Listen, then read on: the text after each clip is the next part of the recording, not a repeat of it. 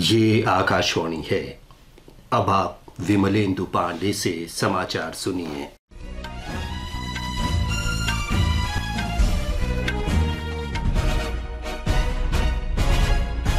प्रधानमंत्री नरेंद्र मोदी आज video conference के माध्यम से महाराष्ट्र में 511 ग्रामीण कौशल्य विकास केंद्रों का उद्घाटन करेंगे। इन केंद्रों की स्थापना महाराष्ट्र के 34 जिलों में की जा रही है। राष्ट्रपति द्रौपदी मुर्मू ने आज बिहार में पूर्वी चंपारण ज़िले के मोतिहारी में महात्मा गांधी केंद्रीय विश्वविद्यालय के पहले दीक्षांत समारोह में विद्यार्थियों और शोधकर्ताओं को डिग्री और पदक प्रदान किए। भारतीय विद्यार्थियों के अतिरिक्त नेपाल, बांग्लादेश और बुरुंडी के छात्रों को भी डिग्रियाँ प्रदान की गईं। राष्ट्रपति ने विख्यात अभिनेता और निर्देशक डॉक्टर चंद्र प्रकाश द्विवेदी को मानद डॉक्टरेट उपाधि से अलंकृत किया। पूर्व सांसद और उद्योगपति आर के सिन्हा को भी मानद उपाधि से सम्मानित किया गया। कुल एक हज़ार पचासी विद्यार्थियों को डिग्री और पदक दिए गए। दस प्रतिभाशाली विद्यार्थियों और शोधकर्ताओं को स्वर्ण पदक प्रदान किया गया। भारत ने सात देशों को तेरह लाख चालीस हज़ार टन गैर बासमती चावल निर्यात किए जाने की अनुमति दी है। विदेश व्यापार महानिदेशालय से कल जारी अधिसूचना के अनुसार Nepal, Cameroon, Cote d'Ivoire Guinea, Malaysia, Philippines और सीशल्स को चावल निर्यात किया जाएगा। केंद्रीय गृह मंत्री अमित शाह ने कहा है कि वामपंथी उग्रवाद और उनकी विचारधारा देश के विकास और उज्जवल भविष्य के लिए बाधक है।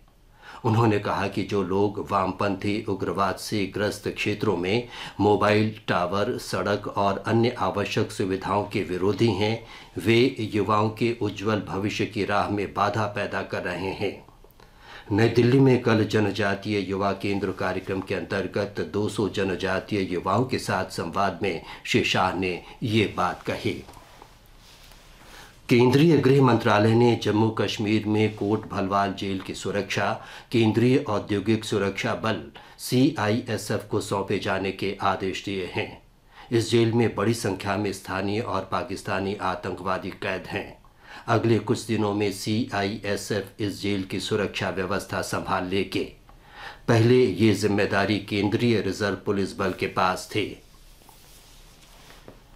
जम्मू कश्मीर प्रशासन ने पहली जनवरी 2011 के बाद से केंद्र शासित प्रदेश में गैर कानूनी रूप से निर्धारित समय से अधिक रह रहे विदेशी नागरिकों की पहचान के लिए उच्च स्तरीय समिति गठित की है। जम्मू कश्मीर गृह विभाग के वित्त आयुक्त और अपर मुख्य सचिव की अध्यक्षता में गठित ये समिति लापता विदेशी नागरिकों की मासिक रिपोर्ट तैयार करेगी और प्रत्येक महीने की सात तारीख तक गृह मंत्रालय को सौंपेगी। ब्रिटेन के प्रधानमंत्री ऋषि सुनक इसराइल हमास संघर्ष को कम करने के प्रयास में इसराइल पहुँच गए हैं। श्री सुनक ने एक बयान में कहा है कि संघर्ष को और बढ़ने से रोकने के लिए एकजुट होना चाहिए। इस बीच अमेरिका के राष्ट्रपति जो बाइडेन ने कहा है कि मिस्र, गजा में मानवीय सहायता पहुँचाने के लिए अपनी सीमा खोलने पर सहमत हो गया है। श्री बाइडन ने कहा कि उन्होंने मिस्र के राष्ट्रपति अब्दुल फतेह अल सीसी से टेलीफोन पर बातचीत की।